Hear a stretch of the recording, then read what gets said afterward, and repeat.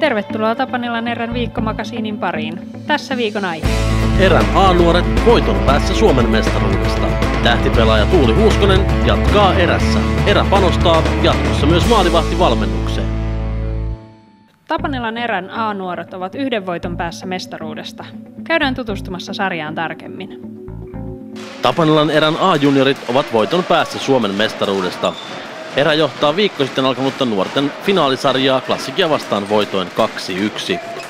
Erä johti loppuottelusarjaa jo voitoin 2-0, kun avauskohtaaminen Mosalla ja toinen kamppailu Tampereella päättyivät sinisten voittoon. Kamppailut ovat olleet viihdyttäviä ja vauhdikkaita, silti äärimmäisen tasaisia. Ensimmäisen kohtaamisen voittolukemat, ne kirjattiin erälle maalein 5-4. Toisessa ottelussa erä nousi 1-6 tappioasemasta 7-6 jatkoika voittoon ja keskiviikkona Classic onnistui kaventamaan sarjan 5-4 vierasvoitolla. Näin jokainen ottelu on siis päättynyt maalin erolla. Finaalisarja se jatkuu lauantaina Tampereella, jolloin erällä on mahdollisuus juhlia Suomen mestaruutta.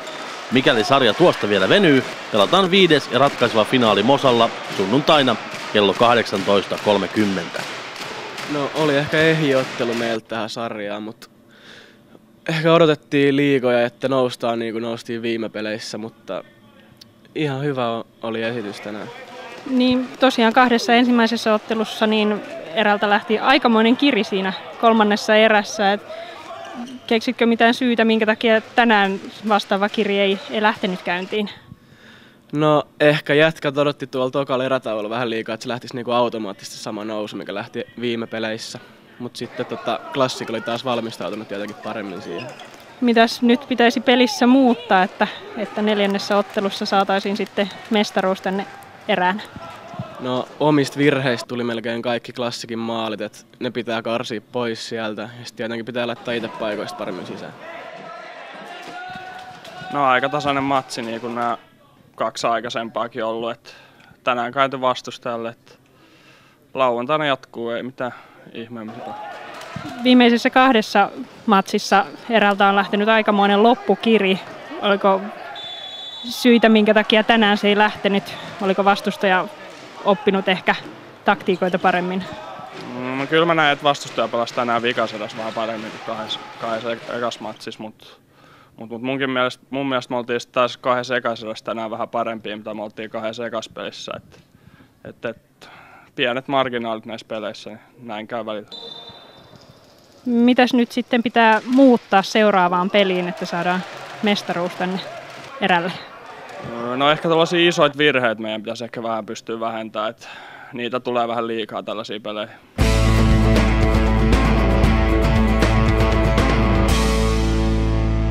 Viikon eräläinen on naisten liigajoukkueen tähtihyökkääjä Tuuli Huuskonen, joka on juuri allekirjoittanut jatkosopimuksen seuran kanssa. Naisten salibändiliigan runkosarjan pistepörssissä kuudenneksi yltänyt Tapanilan erän tähtipelaaja Tuuli Huuskonen on tehnyt jatkosopimuksen erän kanssa. Joukkueen kapteenia kosiskeltiin jälleen kauden päätyttyä sarjan kärkijoukkueiden toimesta, mutta eräkasvatin sininen sydän veti kotiin. No ehkä vähän jäi harmittaa tuo viime kausi, että, että olisi toivonut paljon enempää tuolta joukkueelta. Että, että se oli kyllä aika yksi iso, iso asia, että halusi vielä jäädä erään, että näyttää vielä, että kyllä me pystytään parempaakin. Kuluvalla kaudella erän naisten liigajoukkue jäi niukasti pudotuspelien ulkopuolelle. Joukkue sijoittuu runkosarjassa yhdeksänneksi, vain pisteen päähän M-tiimistä, joka vei viimeisen pudotuspelipaikan. Alussa tuntui tosi hyvältä, että se eka peli, mikä meillä oli, niin meni tosi hyvin ja antoi semmoista hyvää suuntaa sille kaudelle, mutta sitten jotain tapahtui ja sitten oli vähän vaikeaa. Niin itselle jäi mieleen se klassikottelu Energia-areenalla. Vietiin klassikko, joka nyt pelaa finaaleissa ja on se ehdoton mestarisuosikki. Oliko se ottelu semmoinen, joka tavallaan kuvaa sitä kautta, että paikkapaikoin menee tosi hyvin ja sitten johonkin aina häviää se tatsi?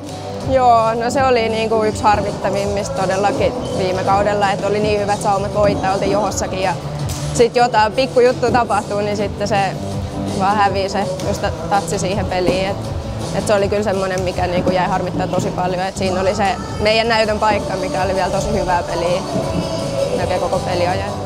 Niin tuossa sanoin, että, että jäi hampaankoloon ja haluat vielä erän kanssa näyttää mihin pystytään. Mitkä ne on ne jutut, mihin erä tämä joukkue parhaimmillaan pystyy? Mikä on aseet? Mihin, mihin, mihin sä uskot, että mahdollisuudet riittää? No kyllä riittää vaikka mihin. Meillä on tosi nuori jengi, joka on niinku hyvä juttu siinä, että niinku sitä pystyy kasvaa sieltä mudista ylös. Et, et tota, mä näen siinä sen, niinku sen nuoreuden hyvänä, että niinku, jokaisella on tahto näyttää ja niinku se, että tietää, että mihin pystytään, niin on tosi kova. Runkosarjan 21 ottelussa peräti 48 tehopistettä iskenyt eräkapteeni arvostettiin naisten salibändiliigan kuukauden pelaajaksi marraskuussa. Huippuotteet toivat myös ensimmäisen maajoukkuekomennuksen, kun helmikuussa kutsu kävi maajoukkueen leirille yhdessä 30 muun lajin tähtipelaajan kanssa. No totta kai se on se maajoukkue niin kuin yksi, yksi suurin haave, mutta koko aika kehittyy enemmän. Et nyt on niin kuin, viime kausi oli hyvä, tai tuntui hyvältä itsestä, että niinku pystyy just päästä maajoukkojen leirille ja sitten niinku huomasi, että muut niinku näki, että et onnistuu. Et se oli semmoinen, niinku, viime kausi oli tota, itselle ehkä semmoinen yksi parhaimmista, tai mikä tuntui hyvältä, vaikka joukkueen kanssa ehkä menestynytkään niin hyvin. Miten sä kuvailet itse itseäsi pelaajana tällä hetkellä? Missä on vahvuudet, missä on heikkoudet? Mitä sä aiot kehittää kesällä? No, tuota, fyysisyyttä pitää kehittää. Et vähän tarvitsisi lisää, lisää voimaa, että pystyy niissä kaksinkamppailuissa pärjää paremmin. Et ne on ehkä semmoinen iso heikkous tällä hetkellä. Et, et vahvuuksia on varmaan tuo nopeus ja sitten semmoinen maalihalukkuus. Huuskonen on paitsi naisten liigajoukkueen sytyttäjä ja esimerkki, toimii hän aktiivisesti myös erän junioreiden kummipelaajana. Muun muassa erän C-tytöt ovat kauden aikana saaneet sparrausta lajin huipulta. Se on vähän itse vaikea sanoa, että mikä, mikä niille on se mielipide siitä, että siellä on käynyt, mutta ainakin itsestä on niin ollut ihan mahtavaa käydä niiden treeneissä. Et siellä näkee, että et kyllä junnutkin vie, että siellä on se salibändin tulevaisuus. Jos menet mukaan pelaamaan, niin kuinka paljon ylivoimainen sä oot tuolta? No en kauhean. Eli taso on niin hyvä? Että... On, alkaa olla kyllä tosi hyvä taso. Et, et vähän pelottaa jo, että milloin ne vie oman peliä. No hei, kerro vähän naisten salibändiliiga kesäharjoittelu. Mitä sulla on kesällä luvassa? No toivottavasti rankkaa treeniä. Et itse tykkää sille, että pääsee vetää ja äärirajoille asti. Et nauttii kyllä siitä kesätreenaamisesta. Sieltä pohjaa haetaan sinne peleihin. Minkälainen oli viime kesä verrattuna, jos palataan vuosi taaksepäin? No viime kesä oli jo hyvää treeniä, että et oli vähän erilaista mitä aikaisemmin ollut, että ei ollut ehkä ihan niin semmoista rankkaa, mitä olisi ehkä toivonut, että toivottavasti nyt olisi vähän, vähän enempi kovaa treeniä. Millä, mitkä asiat olisi kaikista tärkeimpiä ajatellen sun henkilökohtaista kehitystä ja haavetta päästä MM-kisoihin edustaa Suomea joulukuussa? No voimatreenit totta kai ja semmoinen kestävyystreeni, että, että ehkä välillä tuntuu, että siinä pelin lopussa alkaa vähän puhti loppu, että semmoista niin kuin, että jaksaisi paremmin loppuun asti. Kuinka paljon tuollaista on nyt kesällä luvassa? Toivottavasti paljon. ei osaa sanoa vielä tällä hetkellä, ei ole sovittu mitään kesätreeneistä, niin ei voi tietää. Minkä verran tiedät nyt tässä kohtaa tuosta erään ensi kauden joukkueesta? Kuinka moni joukkuekavereista on tehnyt jatkodiilin ja miltä joukkue näyttää? No tällä hetkellä on aika vähän, vähän tiedossa, ketä jatkaa, mutta kyllä siellä on hyvät kaverit jatkaa, ettei, ei ainakaan jännitä sen puoleen. Eli tavoitteena on pärjätä ensi kaudella liigassa? Joo, paremmin kuin viime kaudella.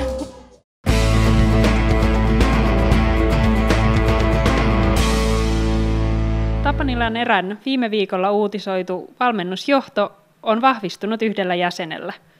Erä on saanut uuden maalivahtivalmentajan. Tapanilan erän miesten salibändiliigajoukkueen valmennusjohto on täydentynyt. Erän paikallisvastustaja SSVtä kuluvalla kaudella edustanut Paolo Keinänen on erän uusi maalivahtivalmentaja. Keinäsen rooliin maalivahtivalmentajana kuuluu miesten liigajoukkueen valmennustehtävän lisäksi poikapuolen maalivahtivalmennuksen koordinointi. Hän osallistuu säännöllisesti myös erän A- ja B-nuorten maalivahtien valmennukseen. Ylä- ja alakouluikäisissä tuore maalivahtivalmentaja johtaa valmennustiimiä, jonka kanssa valmennusta lähdetään viemään seuraavalle tasolle. Keinäsellä on usean vuoden kokemus maalivahtivalmennuksesta. Hän on ollut alusta alkaen mukana salibändin maalivahtivalmennuksen erikoistuneen Goalie Basin toiminnassa. Erässä hän on toiminut valmentajana aikaisemminkin. Hän voitti erän vuoden valmentajapalkinnon kaudella 2004-2005 nimenomaan maalivahtivalmennuksestaan. Pelaajaurallaan Keinänen on nähnyt huippusalimändiä muun muassa SSVn, M-tiimin, TPSn ja Loviisan tuurin riveissä. Erää hän edusti 2000-luvun alussa, kun joukkue teki nousua liigakaukaloihin.